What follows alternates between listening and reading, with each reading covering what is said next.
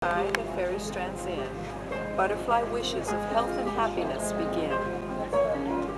These are made out of silk, recycled butterfly houses. And the fairy goddess mother ties them into the most beautiful artist, Miss Linda Raymond. Thank you. Who awards her with medals of honor, handmade, one of a kind. And I shall sparkle like a fairy. So that I'll sparkle like a fairy. Not just the fairy goddess. With good wishes to all.